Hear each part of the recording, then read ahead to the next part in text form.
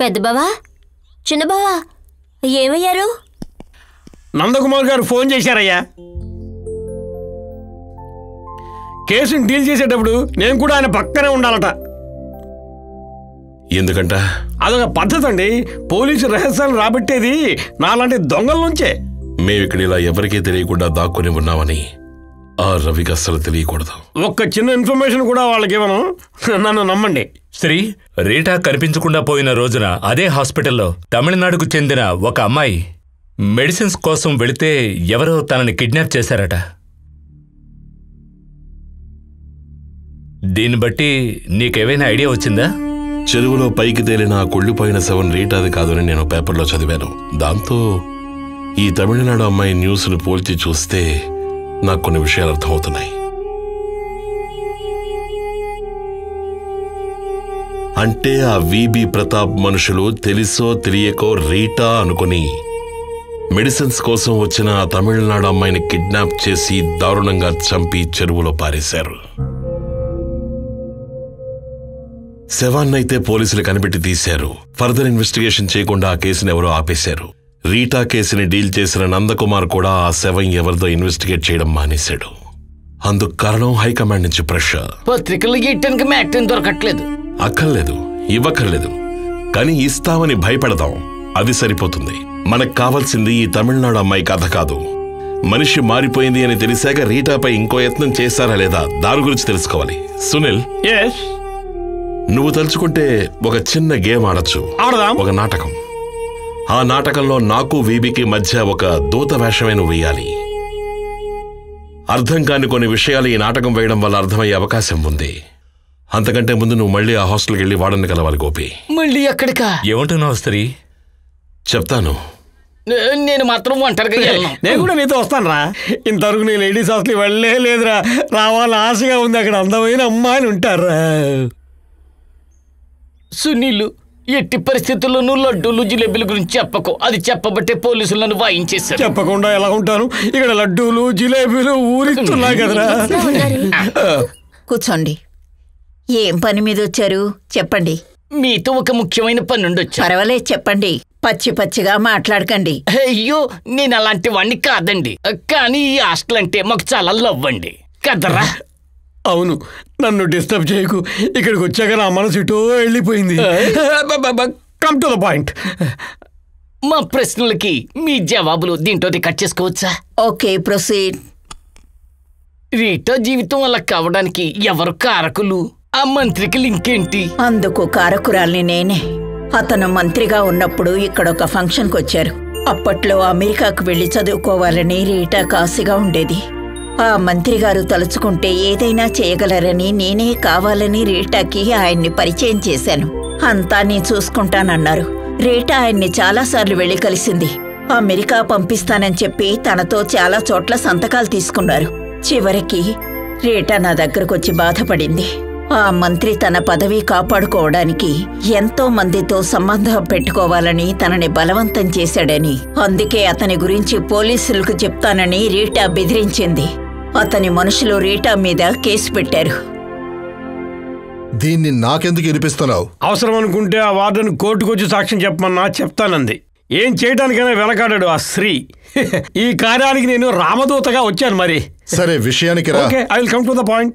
శ్రీకుమార్కి information ఇస్తున్న ఒక ఆత్మ ప్రేతాత్మ ఇప్పుడు లేదు. ఆయన పత్రికలో రాయడానికి తమిళనాడుకి చెందిన ఒక అమ్మాయిని మీ వాళ్ళు కిడ్నాప్ చేశారే. ఆ విషయం తప్ప ఇంకేమీ లేవు. ఈ న్యూస్ పేపర్లో రావడం తమరికి ఇబ్బంది అనుకుంటే ఆపేద్దాం. మీరు మనసు పెట్టారంటే ఈ వ్యవహారాన్ని నేను కాంప్రమైజ్ చేస్తాను. ఎలా? ఆయన ఐదు లక్షల రూపాయలు అడుగుతున్నాడు. అది మీరు ఇచ్చారనుకోండి ఆయన మీ జోలికే రాడు. దానికి నేను గ్యారంటీ.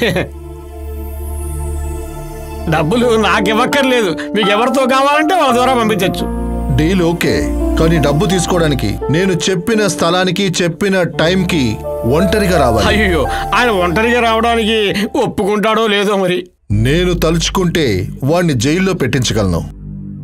రీటా కేసులో నాకు ఆ గ్యాంగ్కి ఎటువంటి సంబంధమూ లేదు. కానీ పొరపాటున ఆ తమిళమ్మాయిని కిడ్నాప్ చేసింది మా వాళ్ళే. నాకు తెలియకుండా. అయినా వాళ్ళని కాపాడాల్సిన బాధ్యత నాకుంది. అది మాత్రమే కాదు ఈ సమస్య మళ్ళీ బయటికి రాకూడదు. అందువల్లే నేను కాంప్రమైజ్కి ఒప్పుకుంటున్నాను. హ, నా మీద నమ్మకం ఉంటే వచ్చి డబ్బులు తీసుకెళ్ళమనరా లేదంటే వద్దు. సరే శ్రీకుమార్ ఒక్కరే వస్తారు. మీరు కూడా ఒక్కరే పంపిస్తారా? పంపిస్తాను. ఓకే నేను మాట్లాడి చెప్తాను.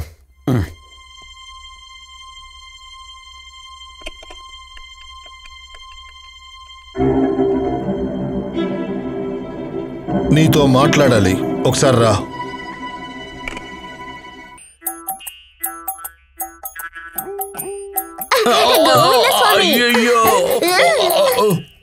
నన్ను మోసం చేసి తప్పించుకోవాలనుకుంటున్నావా? ఇక్కడ ఏం జరుగుతుందిరా? ఎవరు నేను రీటా. రీటానా? ఆ, అదే సునీల్కి కనిపించిన రీటా. మనకు మాత్రం అస్సలు కనిపించదు. నాకు కనిపిస్తోంది. నోరు మీరా నీకెలా కనిపిస్తుంది? నాకు కనిపించింది నీకు కనిపించదు. ఏంటి పిచ్చి పని? వదులు. వదులు. ఈయన చెప్పారని వదిలేస్తున్నా. వీడు కావాలా? వద్దు వద్దు గోవింద బావే కావాలి. గోవింద అయ్యయ్యో ఒక అందమైన అమ్మాయి ఇంతకు ముందు కనిపించింది ఇప్పుడు కనిపించడం లేదే. నేను చెప్పేది వినిపిస్తుందా? నేను చెప్పేది వినిపిస్తుందా? వినిపించడం లేదా. ఇప్పుడు చూడు. వినిపిస్తుందా? వినిపిస్తోంది. వదిలే. నాతో ఆడుకుంటావా? మేము డాక్టర్ దగ్గరికి వెళ్తున్నాం. నేను వస్తా. ఆ, నువ్వు వద్దు. అక్కర్లేదు రా. ఆ, బావగారు పిలుస్తున్నారు. రా అది అది.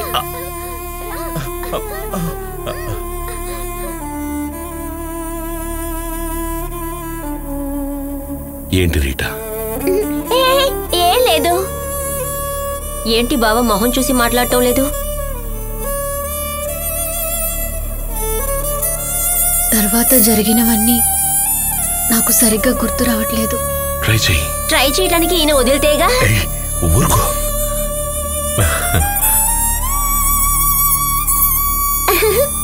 జోసఫ్ గారి గదిలోకి వచ్చి వచ్చి చెప్పు. చెప్పు. వచ్చేసి. నువ్వు నోరు ముయ్. ఇదేం గొడవరా బాబు? ఒకళ్ళు చెప్పమంటారు ఒకళ్ళు ఊరుకోమంటున్నారు. తను రీటాతో మాట్లాడుతున్నాడు. నేనుండగా ఇంకెవరు రీటా? నాకేం అర్థం కావటం లేదు. వాడికి కొంచెం మెంటల్ ప్రాబ్లం. మెంటల్ ప్రాబ్లమా? అందుకేనా నాతో పెళ్ళి చేయాలనుకున్నావు this is cheating this is cheating Joseph గారు రూమ్లోకి వచ్చి వచ్చి డ్రెస్ చేంజ్ చేసుకున్నాడు. ఏమిట్రా దీని గోల? నువ్వేగా పిలిపించావు? నేనా? ఎందుకు? ఎవరిది? తనొక మెంటల్. అంటే తెంగర బుచ్చి లాంటిది. అయితే ఇప్పుడు ఏం చేద్దామంటావు? నేను చెప్పానుగా డేంజర్ పార్టీ అని. అంత డేంజర్ పార్టీనా మరి? ఎలాగైనా దీన్ని పంపించేయి. బొమ్మంటే వెంటనే పోయే పార్టీ కాదురా. అయితే నోరు మూసుకునైనా ఉండమని చెప్పు. అనవసరంగా డిస్టర్బ్ చేస్తావు. అంతవరకు మాట్లాడుతూ సరే, వెళ్ళు. ఏంటా మెంటలోడితో గుసగుసలు? ఎక్కువ ఫ్రెండ్ అయ్యావంటే నువ్వు అలా ఇరుక్కుంటావు. అదే నువ్వు కాసేపు మాట్లాడకుండా ఉంటే మన పెళ్ళి తను దగ్గరుండి జరిపిస్తాడట. నిజంగానా. నేను ఇక నీతో మాట్లాడను. జోసఫ్ గారి గది నుంచి నేను నేరుగా వెళ్ళింది మోర్చరీకే. అన్నపూర్ణమని చూడ్డానికి. అక్కడ ఏం జరిగింది? మనం అక్కడికి వెళ్దాం శ్రీ. వెళదాం. ఆ, సరే వెళదాం. అయ్యయ్యో మనం బయటికి వెళ్తే మన పెళ్ళి జరగదు. మనం ఇక్కడే ఉందాం. శ్రీ వెళ్ళి కళ్యాణమాల తీసుకొస్తాడు. ఆ.